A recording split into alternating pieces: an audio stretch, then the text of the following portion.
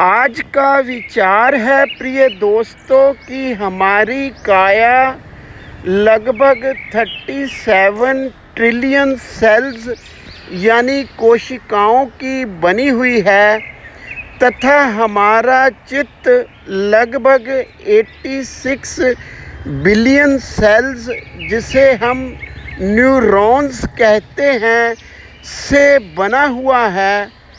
हमारे चित्त की मेमोरी लगभग 2.5 मिलियन गीगाबाइट है, तथा एक न्यूरॉन लगभग दस हज़ार और न्यूरॉन्स के साथ अपना संबंध बनाई रखता है। इस प्राकृतिक रचना में हमारे कोशिकाओं में पड़े परमाणु, यानी एटम्स, हर वक्त हरकत में हैं, जिन पर हमारा कोई आधिपत्य नहीं है, हमारा कोई नियंत्रण नहीं है, हमारा कोई अधिकार नहीं है।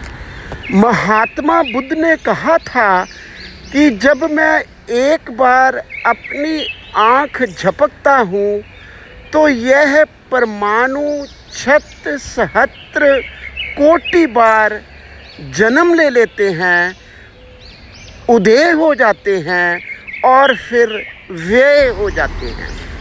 यानी एक सेकंड में छत सहस्त्र कोटि बार इनका जन्म होता है और छत सहस्त्र कोटि बार इनकी मृत्यु हो जाती है। प्रिय दोस्तों, कुछ ऐसा ही अनुसंधान 1968 में डॉक्टर अल्वरिस ने बर्कले यूनिवर्सिटी, कैलिफ़ोर्निया में अपने बब्बल चैम्बर के द्वारा यह सिद्ध किया था कि एटम लगभग 10 रेस टू पावर 12 पर सेकंड के वेग से उदय और व्यय हो रहा है, जिसके लिए उनको न्यूक्लियर फिजिक्स में नोबल प्राइज से निवाजा गया था।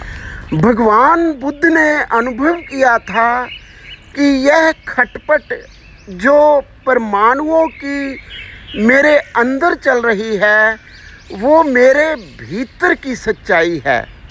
और ऐसी ही खटपट बाहर ब्रह्मांड में भी चल रही है। मेरी ये काया बुलबुले ही बुलबुले हैं, तिरंगे ही तिरंगे हैं, जो पैदा हो रहे हैं, व्यय हो रहे हैं, किसको पकड़कर मैं अपना कहूँ? किस शरीर चित्त सकंद को मैं मैं कहूँ और किस शरीर सकंद को मैं मेरा कहूँ, सब कुछ इस ब्रह्मांड में जिसका आकार है, वो अनित्य है। सब कुछ परिवर्तनशील है तो फिर अनुराग कैसा, राग कैसा, द्वेष कैसा, मोह कैसा?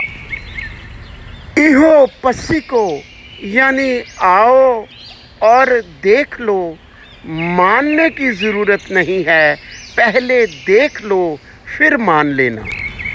यही बुद्ध का आमंत्रण था। यही बुद्ध की विपश्यना थी।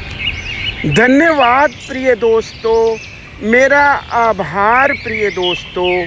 आप सबका मंगल हो, कल्याण हो, स्वस्थ मुक्ति हो।